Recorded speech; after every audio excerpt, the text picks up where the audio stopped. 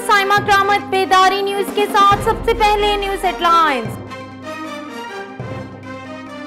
योम अशूर पर जारी पैगाम में सदर आरिफ फलवी ने कहा है कि शहादत अमाम हुसैन उम्मत मुस्लिमा के लिए अजीम दर्स और रहती दुनिया तक अजम व इस्तलाल की अलामत है। वज़ीर आज़म इमरान खान का अपने पैगाम में कहना था कि इमाम आली मुकाम ने शहादत कबूल की, लेकिन जुल्म के सामने सर ना झुकाया, बातिल जितना भी अरूज पर हो, इसने मिटना ही होता है।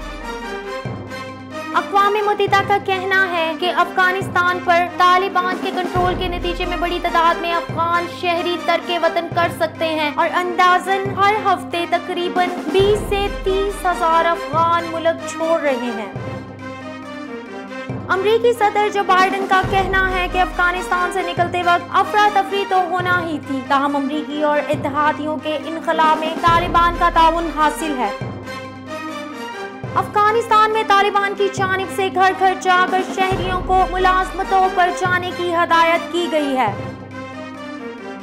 नवासा रसूल, हज़रत इमाम हुसैन रज़ी अल्लाह और उनके जानिसारों की अजीम कुर्बानी की याद में आज पाकिस्तान और दुनिया के मुख्तलिफ़ हिस्सों में आशूरा मुहर्रम के जुलूस निकाले जा रहे हैं।